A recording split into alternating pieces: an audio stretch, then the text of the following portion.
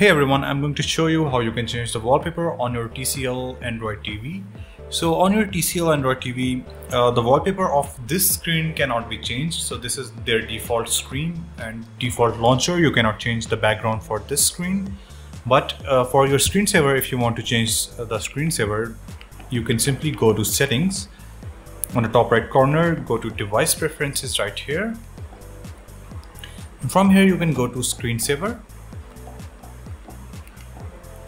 So as you can see in the screensaver, uh, now it is selected uh, backdrop, which means that it will change the pictures of the TCL that TCL has provided uh, within the, your TV right now. So if I go to start now,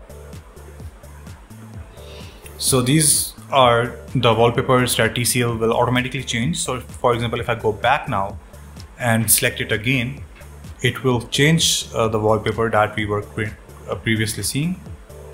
So it changes the wallpaper uh, automatically. So this is one option that you can choose, which are variable uh, different wallpapers, or you can choose colors as well.